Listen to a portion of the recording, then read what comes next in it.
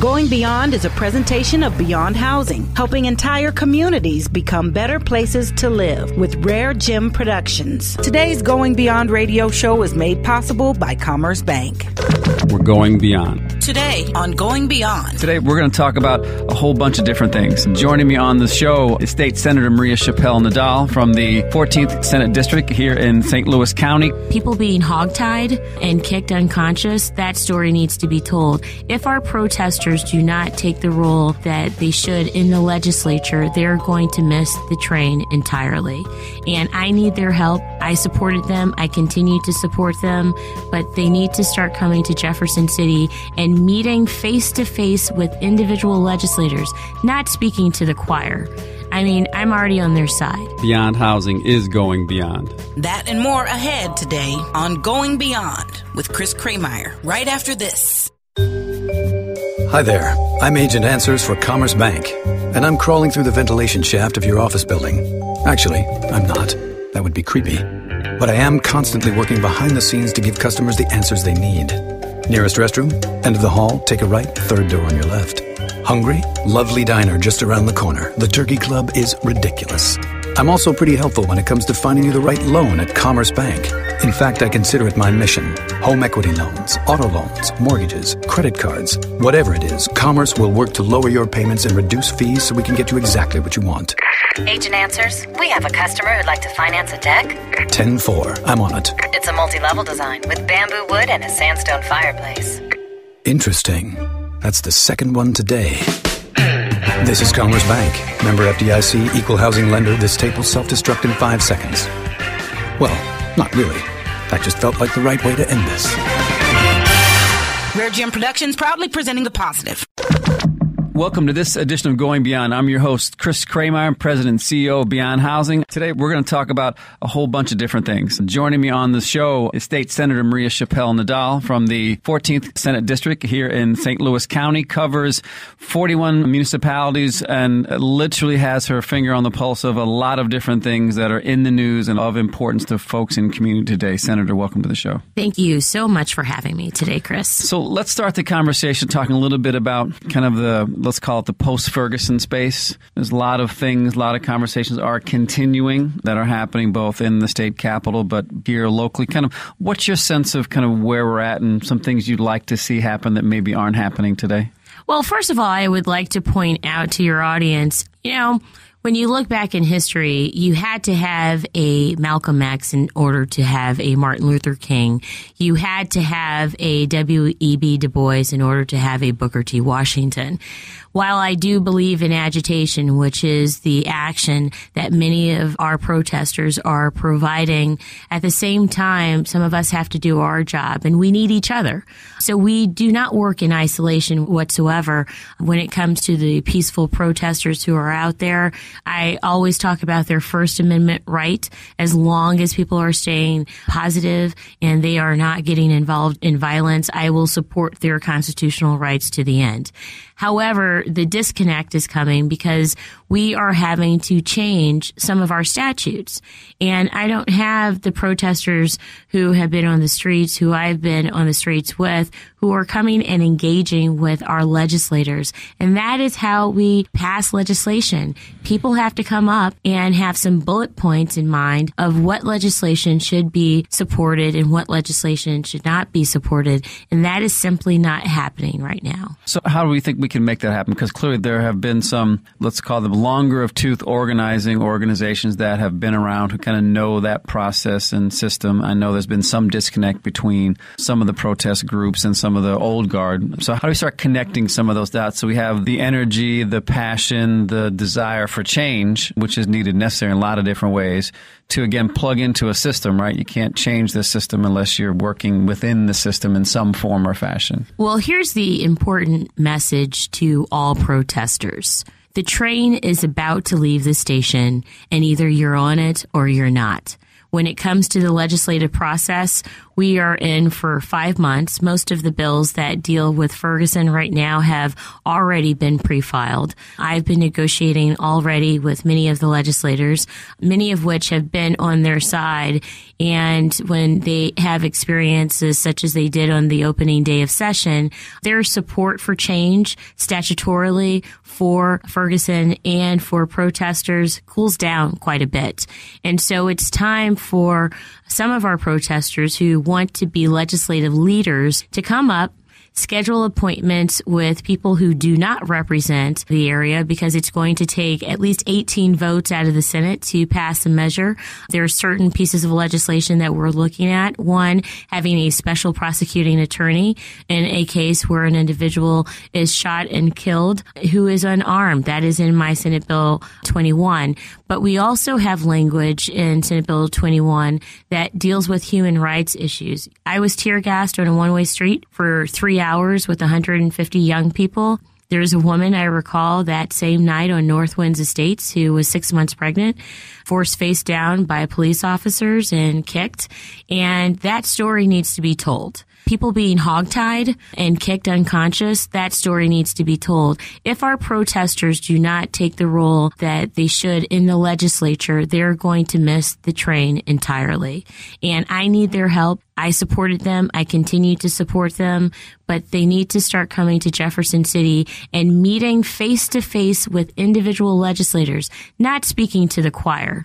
I mean, I'm already on their side. Right. They should be speaking to legislators who are going to vote on the agenda that they have and that have already been filed, the issues that have been filed. Have the protesters suggested that they weren't interested or they just haven't gotten to that space? Or is it some, I mean, what's the, because obviously you've stayed in contact It- with, and again, there's a number of different groups and there's key leaders and as a whole, again, it's not a uniform, one organization, one leader, right? And folks have said that's a good thing, and I would Yeah. agree. I think that, I that's do okay. think that's a good thing. However, I will tell you, in one art organization in particular, historically, I've had a lot of respect for, but for one individual who chose to not communicate with our office like you do. So we had our opening on a Wednesday. We schedule our events, our meetings months in advance. And the expectation was that I would be at a meeting on Friday, the following Friday. Well, that doesn't work and it didn't work that day. So what they decided to do is to be very negative in the media about me not showing up to a meeting with a 48 hour notice. Just so happened to be I was meeting with the governor and the state treasurer and the secretary of state and to have one of those meetings as a senator representing a minority district doesn't even happen twice a year. So I was not going to cancel that. As senators, we represent over 200,000 people. State representatives only represent 37. So they have a lot more time than senators do. I have about 10 senators who are in my senatorial district, but there's certain protocols that many of our protesters don't know. And I'm not saying it's their fault. It's not at all. But if they're willing to listen, you know, always engage, always have a paper trail. Email. If you want an elected official to show up to an event, give them a week or two or three weeks or a month in advance so that they can go through their schedule. If you want to talk about legislation, make sure you're doing bill tracking. My Senate Bill 21 really covers a lot of the injuries that were caused in the last five months. And, you know, for Tef Poe, who I love and adore, he was on Roland Martin's show the other day, and he said that he didn't think that there was any legislator who was doing anything about a special prosecuting attorney being appointed. Well, that's not true because two of the African Americans who represent St. Louis have legislation dealing with special prosecuting attorneys. In my Senate Bill 21 on page 4, line 28, and Senator Nasheed, she also has a Senate bill dealing with special prosecuting attorneys when there is an unarmed person who's killed by a police officer. So again, there's this disconnect, right? So there's this energy and passion and emotion of folks want change. And again, you know, I don't think anyone would argue with, you know, we'd like for things to be different, but there is a legislative process at the state level as well as the local and federal level to say, how do you do this and how do you work within the context of that system? That doesn't mean you have to give up on your voice, on your passion, Not the things you want all. change, but there's an existing system that is there to work in. So your guidance, you know, to a little bit of everybody is, you know, have conversations with those folks who are in positions Mm-hmm. that can be helpful. Uh, again, they don't have to convince you of their cause, but there's particularly in Jefferson City, it's a Republican controlled, you know, both sides of the uh, legislative process, right? So you have to be able to tell your story and Mm-hmm. make it compelling. And my sense is, and then maybe you correct me if I'm wrong, Senator, is people are willing to do some stuff around Ferguson, Republican and Democrat. right? Yes, this, you know what? It's interesting. While we cannot pass Medicaid reform and expansion, we can do something legislatively dealing with Ferguson. This is in a historic moment in the legislature, in the General Assembly. And if these young people even had any clue how far they could go with policy, if they would, only, let me just go backwards just really quickly.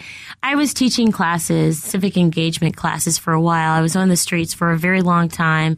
And then I realized that many of my constituents didn't know, like the democratic process, they didn't know how to engage with their representatives or with their council people or with the mayors throughout the area. So I started teaching. And then when the announcement was made that there was no indictment, the building that I taught in was burned down. And so I was talking to Rasheen Aldridge, who is a remarkable young man. And he said, well, why don't you teach us? And I said, Rasheen, I was teaching you and my building was burned. I love teaching. I sit on the school board in University City because I believe in the education of all children. As you know, I spent a year and a half writing legislation dealing with education because I believe in the future of children and making sure they all have an opportunity to learn. When it comes to Ferguson, there was an injury at the very beginning where our young people didn't know about their First Amendment right. They didn't know that the curfew and the five second rule were unconstitutional. I knew that. They didn't realize that being tear gassed on a one way street for three hours like I was and 150 other young people was normal. That's not normal. That's inhumane. And that's why my Senate Bill 21 deals with having entities like Amnesty International on the scene anytime there's a human disaster and there is a state of emergency called by the governor. We have to have third party entities who are there to make sure that our human rights are still as significant as any other right that we have. Do you think any of the existing organizations who do community organizing and who have done the, you know, the lobbying work in Jeff City can do anything different in reaching out to these young protesters to try to say, I know I'm not part of necessarily your group or your movement right now, Mm-hmm. but I'm with you, supporting you, and I, I want to help you in the process. Is there any Yeah. more that the old guard can do in terms of just having them understand process, not dilute their message, not, you know, again, take away from what they want, but just say, let me help you kind of navigate this? So let me tell you where we are. Yes, there is a disconnect between the old guard from the 60s, who are 60, 70, 80 years old now, and the young people who are on the streets. And here's what they forget. For people like you and I who are between the two generations, they don't even want to listen to us. You know, what happened in Ferguson hurts you and I just as much as it hurts them. And they're thinking this is all about their fight. Well, excuse me, I wasn't around in the 60s and 70s. So this fight in Ferguson is about my livelihood too. Right. And it's not just about them. Right. It's about the children that I hope to have in the future and about your children. You and I are part of a generation that did not get to experience the 60s. Nope. Nope. Sure and so didn't. what happened in Ferguson is an injury to us, just like it is. And some, not everyone, but some of these people need to stop being so selfish and understand that we're hurting too. Again, I think the idea of casting a net across a whole segment of folks because they look alike or the same age, anything else is inaccurate and inappropriate, right? So you can't assume just because someone is a certain age or a certain color or a certain gender that they're like everybody else, right? That they all think and act the same way, and it's not. And in the movement, we have people who look like everything, Sure. and they're part of the family. Sure. You know, you could be white, you can be transgender, you could be whatever you want to be, and they are equally seen as people who support the movement for justice. And that's clearly when, you know, we see big change historically. It's because lots of folks came together and found the common ground, right? So again, maybe this is a evolutionary process, right? Because it was only August 9th and we're at, uh, you know, middle of January, end of January, the subsequent year. So hopefully this is a evolutionary process and that over time folks can begin to see what can we do differently if we're not having the impact that we want. If our listeners wanted to maybe engage you and your staff, but as well as others, as you said, right? How do we convince others about some changes? Is there a place they should go? Or is there a place for them to reach out to again get connected to the process to, to- to- Absolutely. to, change? Let, let me give you all of my information on Twitter.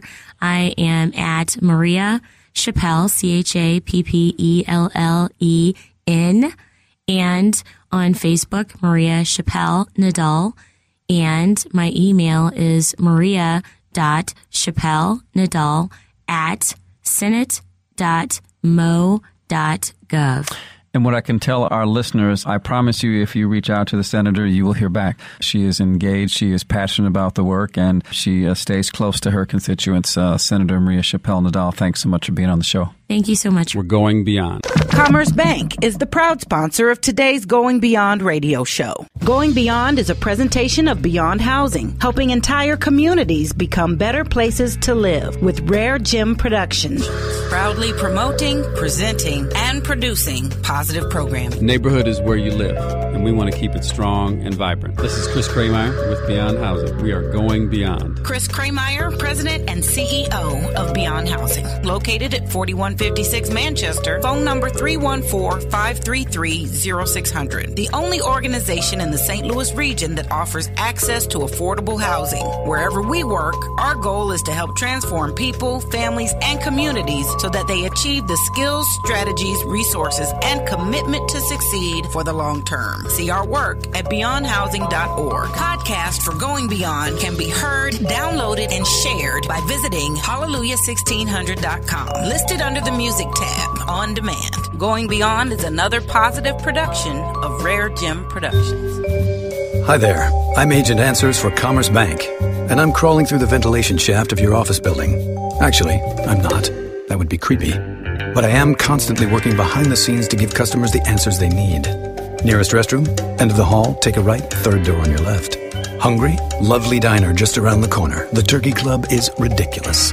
I'm also pretty helpful when it comes to finding you the right loan at Commerce Bank. In fact, I consider it my mission. Home equity loans, auto loans, mortgages, credit cards, whatever it is, Commerce will work to lower your payments and reduce fees so we can get you exactly what you want. Agent Answers, we have a customer who'd like to finance a deck. 10 4. I'm on it. It's a multi level design with bamboo wood and a sandstone fireplace. Interesting. That's the second one today. This is Commerce Bank. Member FDIC, equal housing lender. This tape will self destruct in five seconds. Well, not really. That just felt like the right way to end this.